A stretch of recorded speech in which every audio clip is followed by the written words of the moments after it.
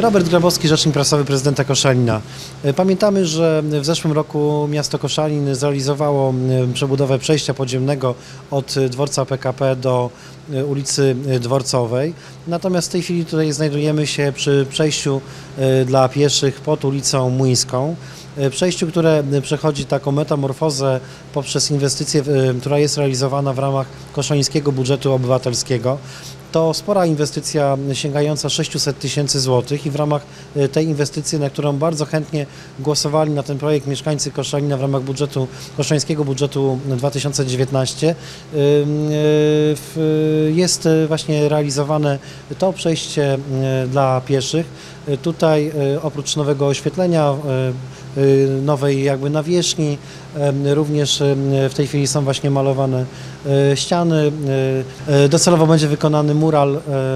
W tej chwili trwają jeszcze prace w Zarządzie Dróg i Transportu, które wyłonią wykonawcę właśnie tego, tego właśnie muralu, ale oprócz tego w ramach tej inwestycji jest, są wykonane nowe alejki wzdłuż rzeki Dzierżęcinki wraz z oświetleniem, również wzdłuż ulicy Młyńskiej, nowe alejki wraz e, z ławkami, wraz e, z oświetleniem.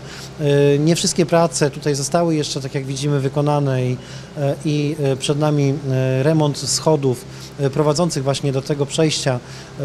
Na ten remont nie mieliśmy zabezpieczonych pieniędzy w ramach koszońskiego budżetu obywatelskiego, stąd cieszy decyzja prezydenta pana Piotra Jedlińskiego o wprowadzeniu dodatkowych środków na realizację tego zadania w ramach sesji teraz styczniowej.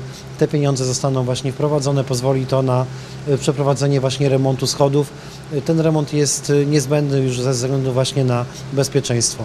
W efekcie można powiedzieć, że kompleksowo tutaj zarówno nadbrzeże rzeki Dzierżęcinki, właśnie to przejście wzdłuż rzeki, jak i właśnie ten cały skwer dosyć zaniedbany do tej pory wzdłuż e, ulicy Młyńskiej, jak i to przejście e, podziemne, przy którym się teraz znajdujemy, na pewno zyska na estetyce, ale również i na bezpieczeństwie, ponieważ będzie tutaj na pewno jaśniej, na pewno będzie e, dużo bezpieczniej, a jest to takie miejsce troszeczkę, można powiedzieć, do tej pory zapomniane. Stąd właśnie cieszymy się, że mieszkańcy Koszalina zarówno w ramach koszańskiego budżetu obywatelskiego, jak i innych inicjatyw bardzo chętnie zgłaszają właśnie swoje e, tutaj pomysły, które są następnie realizowane przez nasze instytucje e, i takim właśnie przykładem są bulwary młyńskie, przy których się w tej chwili znajdujemy.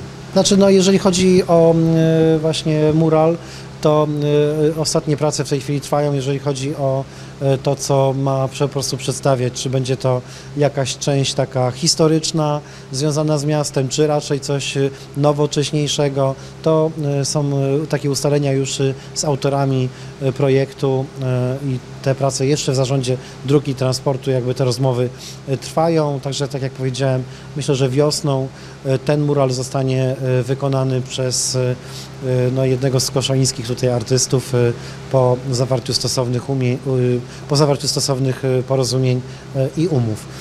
Natomiast można powiedzieć, że gro tych prac została wykonana przed nami, przede wszystkim jeszcze właśnie schody, ale to już w ramach jakby nowych tych środków, które są zabezpieczone, będą zabezpieczone w budżecie miasta w ramach właśnie tej najbliższej sesji. No i tutaj zakończenie prac, e, tak jak widzimy, większość tych prac jest już, można powiedzieć, wykonanych i na pewno jest tutaj e, dużo estetycznie i tak jak widzimy są, e, jest nowa instalacja elektryczna chociażby, jest więcej lamp, więc będzie po prostu dużo jaśniej. Podobnie zresztą jak i lamp, których tutaj nie było wzdłuż rzeki Dzierżęcinki, jak i właśnie na tym skwerze przy ulicy Batalionów Chłopskich, e, Młyńskiej i e, e, tutaj przy rondzie pani Rodkiewicz.